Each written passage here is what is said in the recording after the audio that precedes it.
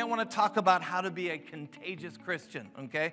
That's really going to be our, our series for the next, for the next, uh, next four weeks, okay?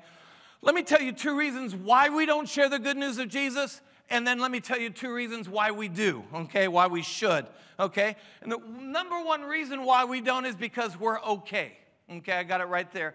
And uh, it's, you notice the word un- okay is underlined. It is underlined because that is one of the fill in the blanks. I believe that's the answer to number one. See, God saved us. He got rid of, we had a messed up life. We came to Jesus, He changed our life. He started blessing our work, our family, our finances. And after a while of being a Christian, life is good. Am I right? But the problem is, life becomes so good, we, all our prayers begin to focus around us and no one else. Lord, bless me, my wife, my two kids, us four no more we get content to live with that blessing. In the Bible, there's a great story that illustrates that. Let's see if I can get to it. It's uh, in 2 Kings chapter 2, chapter 6. And there's this time where the, the northern kingdom of Israel is surrounded by the enemy. Notice, sometime later, Ben Hadad, king of Aram, mobilized his entire army, marched up and laid siege to Samaria. That was the capital of, of Israel at that time. There was a great famine in the city. They surrounded it. The siege lasted so long that a donkey's head sold for 80 shekels of silver. That is, uh, that is a, a year's wage, a year's salary for a donkey's head, and a quarter of a cab of seed pods for five shekels. That was three weeks worth of work. They were so hungry they began to eat one another. That's how bad it was. Now let's look what happens here. Just click to the next one. There we go. So now there were four men with leprosy at the entrance of the city gate. Now, the, you know, in those days, if you were a leper, you weren't allowed in the city, so they, they always begged outside the gate.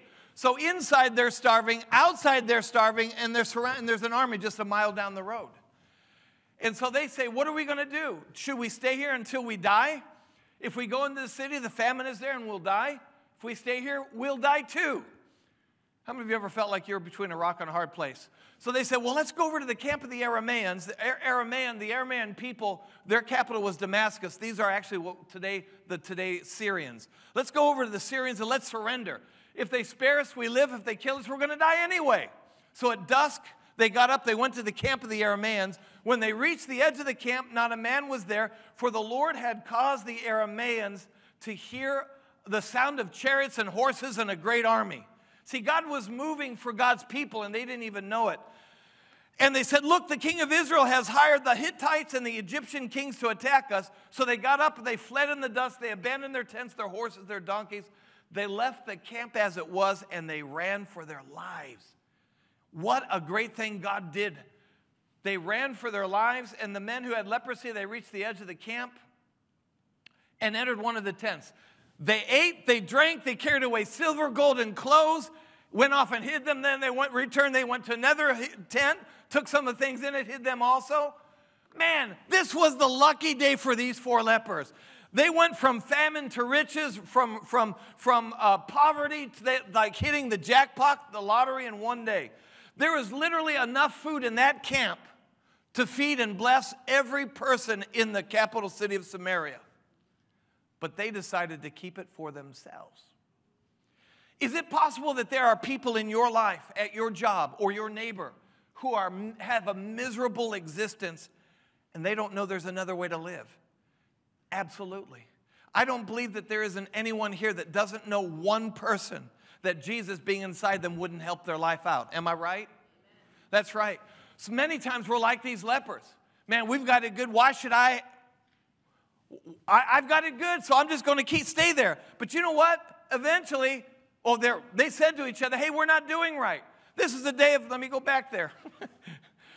they said, "This is a day of good news, and we're keeping it to ourselves. If we wait until daylight, punishment will overtake us. Let's go at once and report this to the royal palace." So the question today is: Are you willing to tell the good news to the people in your life if you knew how to do it better? And so that leads me really to a second reason why we don't. And there it is again. There is a, a direct demonic influence hindering us sharing the good news in our life. Paul said it like this He talked about four demonic eh, classes of demons that, that we struggle against. In Ephesians 6 12, he says this For our struggle is not against flesh and blood, but against the rulers, against the powers, against these are classes of demons. Rulers, that's the word arche, like where we get archangels, but these are the their counterpart, arch demons. Powers, world forces of darkness against spiritual forces of wickedness in heavenly places. See, most of the demons that we deal with on this planet, although we cannot see them, we can feel them. They are what I would call radiators because they radiate one specific power or quality. And so that's the thing you really need to know. Spirits, we can radiate who they are. Let me give you a great example of this. The Holy Spirit radiates joy, peace, goodness, patience, meek, am I right? Self control. When we worship God and our mind is focused on God, we sense the Holy Spirit. We sense that goodness. We sense that love. We sense that joy. How many of you know what I'm talking about? Yeah, because spirits radiate who they are. One of the reasons we worship God, we don't just come here to sing, we come to worship Him because the Bible says He inhabits our worship. His presence gets stronger when we worship Him and we begin to sense the joy, the peace, the goodness. That's the Holy Spirit because spirits radiate who they are. You know, many times in worship, you feel lighter, you feel better. You can't put your finger on it, but it's because as you worship, you feel the presence of the Holy Spirit. So, in the same way that God's presence radiates who He is, demons radiate who they are. In fact, most demons radiate one thing, such as fear, lust, hatred, suicide. In the list of demons that Paul lists, he talks to, about two of them. There's, there it is. Oh, powers and forces, they radiate one particular evil. They beam that evil feeling or that thought outward from themselves, broadcasting kind of like radio waves over a territory. Let me say this uh, powers a power is a demonic spirit whose primary activity is to blanket a smaller area with energy of its particular evil. You know, guys, let me just give this uh, illustration because we sense them. Because, but because we're not, we're not sensitive to what's happening, we don't we mis, mistake. You can go by a hundred beautiful women and not feel anything, but then you, but you can pass a woman that has a, a spirit of lust, and she may not even be good looking, but something in you makes yourself turn around and relook at her because that spirit radiates. I remember one time uh, talking about a spirit of fear. Um, many times, with you, if you're with a person who has a particular demon, like for example suicide, you'll begin to sense the same thoughts of suicide that they're, they're, they're sensing because they radiate outward. One time, I was, I was uh, uh, when I was 15, I was on a, we were on a bus tour with our church choir, and I, I had two guys with me, and I was telling them about Jesus. And as I began to tell them, this fear came into this little room. We were in New Jersey, in this rural, rural town. We're out on a farm in New Jersey, three of us in this little, little room. And I'll never forget, I'm telling them about Jesus, and, and as I do this, this fear, we could just feel it enter in, just kind of like a fog. It was so bad, we started to shake. It was a spirit of fear, and it was so, so, so present, so palpable. They said, What is happening? I said, Guys, I don't know what this is, but I think it's a spirit of fear. And they said, What do we do? Well, we use the name of Jesus. And literally, I said, in the, and I didn't know what to do. I was 15. In the name of Jesus, I command the spirit of fear to go. And instantly, it's like someone turned on a light switch, it left instantly. And when the demon left, the presence of God came in. And, and, and, God moved in their lives instantaneously. It was an amazing outpouring of power. But so spirits radiate one thing. And so the powers, they, they at a smaller level, but on a, a national level, there are demons that radiate one quality. The Bible in Ephesians 6 calls them spiritual forces. Of they, they, they radiate a force over a nation. Uh, uh, and, um, you know, we saw this first when we went to, when we went to the Soviet Union there was a spirit that turned brother against brother. We, uh, we were working with an organization, and they had been training 20 Americans, been training. They were going to, uh, we were going to put the first Bible school in the Soviet Union. And we had 20 people. They had trained with themselves. They have trained among themselves for one year. They were best friends. When they got into the Soviet Union within one month, they had broken into three different camps, each camp trying to get rid of the other two, I mean, get getting kicked out of the country. Why? Because there is a spirit over Russia that radiates turning brother against brother. And, and uh, so if you, if you, so it's interesting, Christians, we know there are certain things we work against, lust and things. And when we know what we're fighting against, we, we, can, we, can, uh, we can resist it. But moving from country to country, you will find that there are different dominating spirits that push you in a way that you're not used to. And that was what the hardest thing we had to do in Russia was try to keep unity because there was a spirit that just radiated among our, our, our group, trying to turn us against one another. Ephesians 2 2, Paul said it like this uh, In which you formerly walked according to the course of this world, according to the power of the, the prince of the power of the air of the spirit that is now working in the sons of disobedience. I want you to catch this. There is a prince of the power of the air. That spirit now works in the, the sons of disobedience. Over nations and over cities, demonic spirits radiate thoughts and feelings citywide, in some cases nationwide, and they don't want to be displaced or cast out. We see this, the first time in the Bible, we see this fight in the book of Daniel, uh, Daniel chapter 10, where Daniel is praying for a change over his nation and the nation, the nation of uh, Israel and also the nation of Babylon. And God sends angel, the angel Gabriel, and it takes him over 21 days for him to get there. And then the, Gabriel says to Daniel, Don't be afraid, Daniel. Since the first day that you set your mind to gain understanding, to humble yourselves before your God, your words were heard, and I came. 21 days late, but I came 21 days ago. But the prince of the Persian kingdom, this is a demonic spirit, resisted me 21 days. We don't know, but there's another layer over our nation moving us one way or another. Then Michael, one of the chief princes, came to help me because I was detained there with the king of Persia, the, the demonic king there. There are many, many scriptures I could get. I could literally go over scripture after scripture, example over example, but I want you to catch this. Demons radiate something, and there is a radiate, there is something over our nation right now, and this is the one thing you need to know. And this is one of the things that's being radiated. Let me get back there. There's the thing that's being radiated today by the demonic forces is this thought that every religion is okay. There are multiple ways to heaven. Don't force your beliefs on someone. So when we want to tell someone about Jesus, this radiation, this thought hits us. Well, they're, they're okay. Everyone's okay. Everyone goes to heaven. It's, everyone's good. I'm good. You're good. I'm okay. You're okay. This is a demonic thought. Jesus said, I am the way. I am the truth. I am the life. No one comes to the Father but by me. And I'm telling you, one of the reasons why we don't tell people is because there is this thought. Every time I want to tell somebody, this thought, well, they're okay. They're okay. They're going to be okay because everybody makes it to heaven. That's not true. This is a demonic lie. The Bible says in, um, in, in Corinthians 4 if our gospel is veiled, if, it, if it's hidden, it's hidden to those who are perishing. Why? The God of this age, the demonic spirit, the prince of the power of the air, has blinded their minds, the minds of unbelievers, so that they cannot see the light of the gospel that displays the glory of Christ, who is the image of God. I believe that Satan is going one step further now. He's trying to blind us from our mission and calling in life. That it'll be okay. Oh, they don't need to believe in Jesus. They can just, they're just going to make it because they're good people. That's a lie. Satan is blinding us. There is, a, there is an urgency. There is an urgency. Sometimes we meet people that we never meet again on this planet because they don't make it through past that year. There is an urgency in the spirit realm right now. And I'm telling you that the demonic spirits over our country, there's a couple of them. One is saying every religion's okay, doesn't matter what you believe. It's a lie. It's a lie.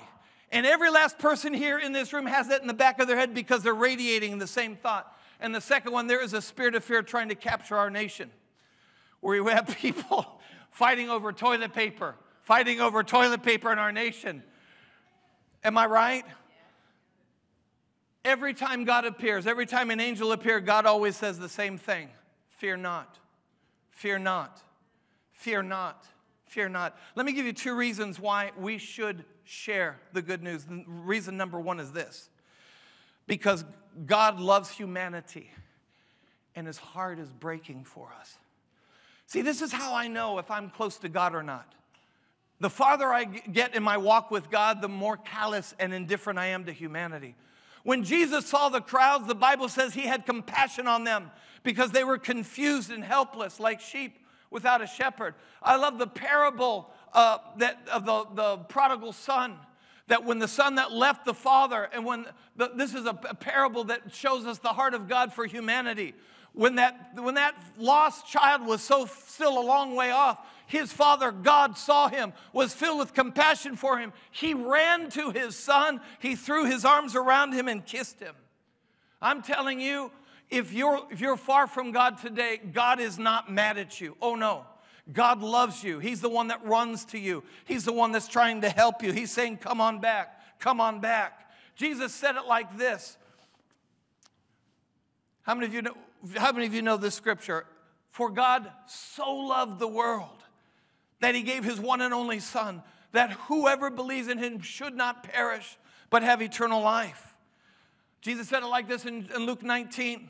He said, For the Son of Man came to seek and to save the lost. That's why he came here. He came to seek and save the lost. And I want to say this reaching the people around us is not just Jesus' mission, he made it our mission as well. I'm going to say that again. Reaching the people around us that are lost is not just his mission, it's our mission. Our mission. You want me to prove it to you? John 20, 21 says this As the Father has sent me, I am sending you. If God sent Jesus to seek and save the lost, he sent us to seek and save those that are lost.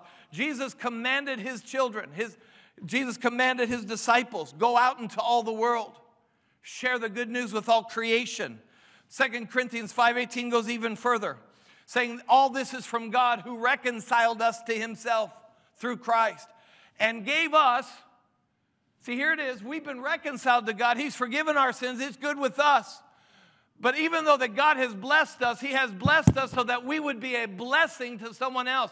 He has given us the ministry of reconciliation, that God is reconciling the world to Himself in Christ, not counting their sins against them. Amen. He's not counting. No, nothing you can do is going to stop God from loving you and saving you. And He has committed to us the message of reconciliation. We're therefore Christ's ambassadors, as though God were making his appeal through us. We implore you, we beg you on Christ's behalf, be reconciled to God. So let's do a quick survey here.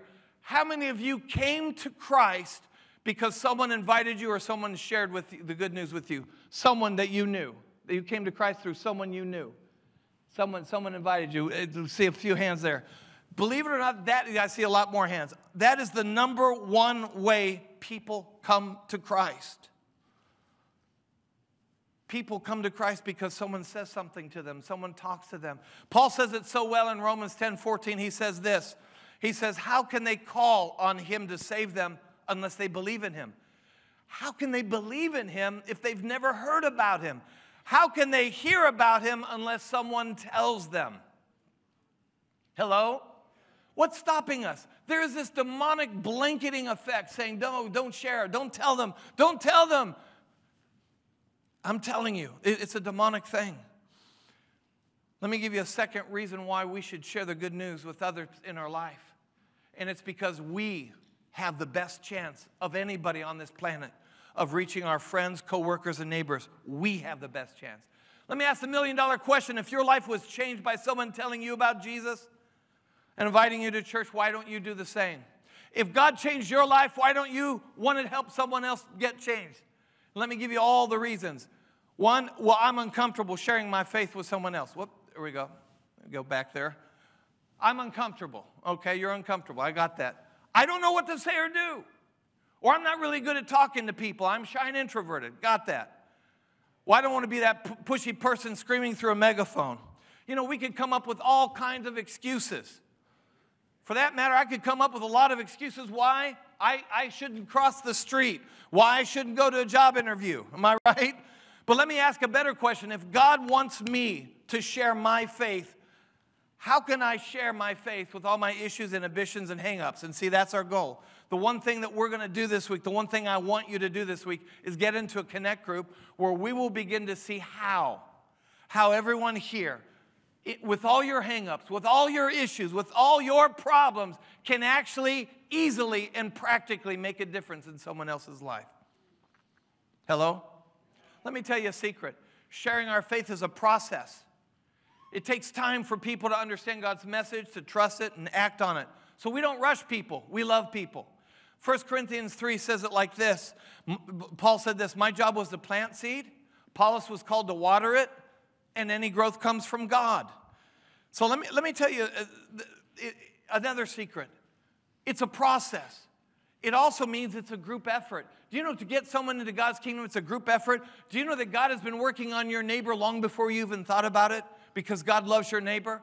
God's working on your, co- your, your coworker because God loves that person. He's been working on him. And, and you say, well, Pastor, that guy is as hard as a rock. Do you know how to get someone a hard heart softer? Pray for them. Pray for God to soften their heart. Pray for God to open a door for you. Because eventually they're going to say, How come? You know, I, I remember this great story, and we have a great opportunity right now. The, the next per, the person at your job may be freaking out, so afraid they're about to wet their pants from the coronavirus. And you're just whistling over there like nothing. They're saying, How come you're so happy? How can, how can, you, how can you live with the coronavirus? Because I have Jesus. I, have, I, have, I want to share a secret with you. Jesus changed my life, and now I'm not afraid of anything. I remember one of the most outstanding testimonies I ever heard. Uh, there was this businessman, uh, El Salvadoran businessman. This was in the 80s, uh, so I'm a little old, but, but I can't forget this. He was, this is at the end of the guerrilla war uh, in, that's happening in Central America.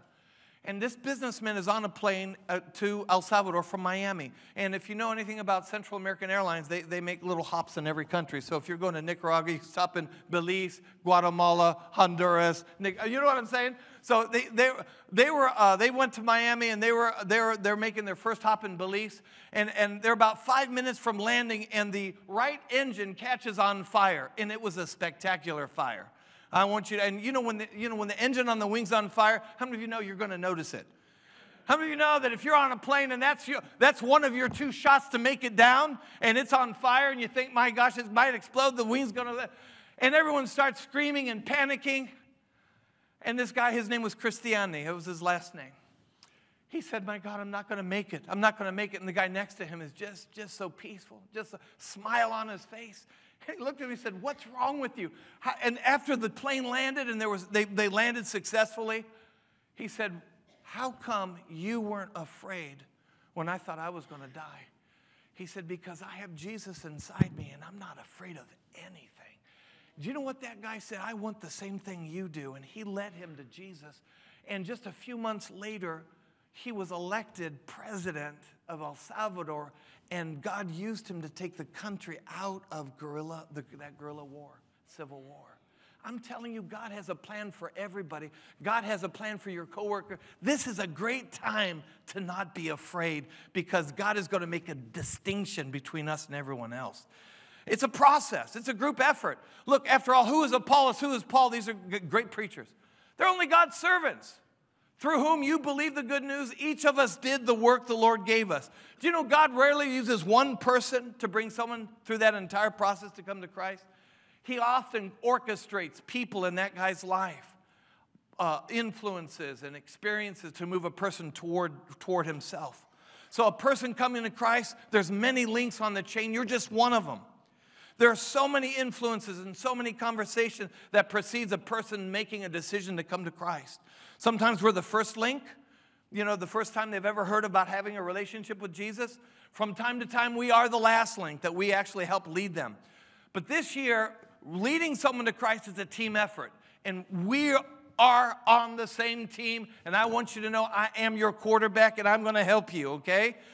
We're going to do an amazing thing. We're going to make we're going to create amazing opportunities this year at this place to bring people to Christ just like the Easter egg hunt. We're going to blitz social media with our anti coronavirus eggs. and uh, just kidding, they're going to be full of candy. But anyway, uh, but and we're going we're going to invite hundreds of people, if not thousands of people, to show up. And then we're going to tell them about Jesus. And you're going to tell your neighbors, your coworkers, hey, you guys got kids? Man, we're giving away 30,000 eggs. We're giving away Nintendo Switches, bicycles. We're giving away 150 stuffed toys together as a team, teamwork, we can be that link, different links in the chain.